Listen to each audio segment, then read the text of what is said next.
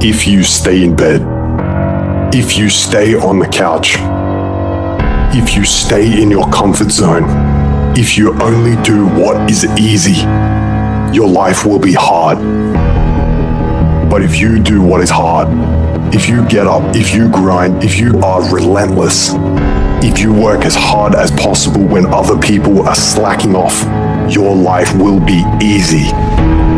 Easy doesn't pay well. Choose the hard path, the path of responsibility, hard work, and sacrifice. That ultimately leads to freedom. Too tired, too hungry, too sore, too hot, too cold, too whatever. People ask me what I do when I get those little feelings running around. Well, let me tell you what I don't do. I don't tell everybody. As a matter of fact, I don't even let those words run around inside my own brain housing group.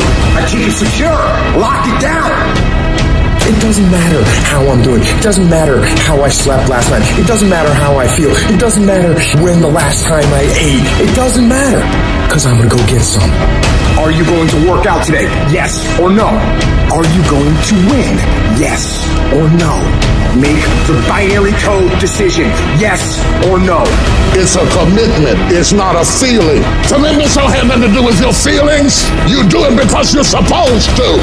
Your mind is your strongest weapon, but you must take control of it. You have to tell your brain where you want to go. When your brain tells you to give in, you push forward. When it tells you to take the day off, you go harder.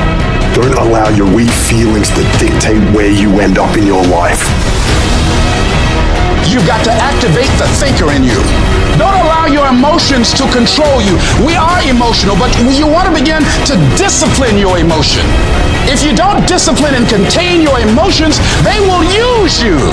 Prove to yourself today, every day, that you can and will push harder than you wanted to, harder than you felt like pushing, past the point of fatigue and far beyond the point of comfort to that outer edge with every ounce of grit and tenacity to where you cross that line, that threshold through the suffering. Your body and mind will always adjust to more suffering, to more pain.